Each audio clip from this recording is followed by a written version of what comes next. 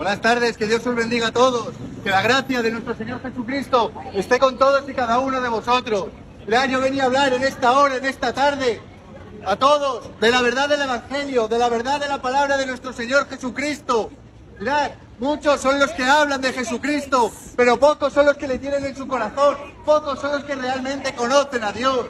Porque Jesucristo es Dios, dice la palabra de nuestro Señor, que Jesucristo, siendo Dios, no estimó el ser Dios como algo a que aferrarse, sino que se despojó a sí mismo, tomando forma de siervo, hecho semejante a los hombres, y estando en la condición de hombre, se humilló a sí mismo, haciéndose obediente en todo, hasta la muerte y muerte de cruz.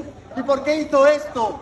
¿Por qué lo hizo? Lo hizo por ti, lo hizo por mí, lo hizo por todos nosotros, para que todo en el que en él cree no se pierda, mas tenga vida eterna. Porque dejarme deciros que Dios no envió a su Hijo al mundo para condenar al mundo. Eso son mentiras de la religión, eso son mentiras del diablo, mentiras de esta sociedad.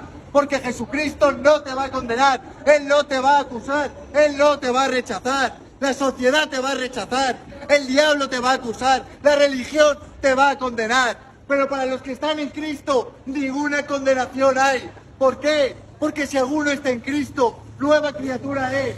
Las cosas viejas ciertamente quedan atrás y todo es hecho nuevo en tu vida. Por eso todo, todo, absolutamente todo en tu vida es hecho nuevo. Porque hemos pecado, porque hemos fallado, porque nos hemos confundido, porque hemos intentado hacer lo bueno, pero hemos acabado haciendo lo malo. Por eso es necesario aceptar a Jesucristo.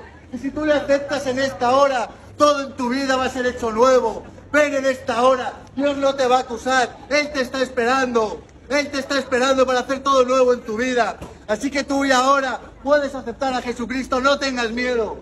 Que Dios os bendiga a todos y que la gracia de nuestro Señor Jesucristo esté con todos y cada uno de vosotros. Dios te bendiga.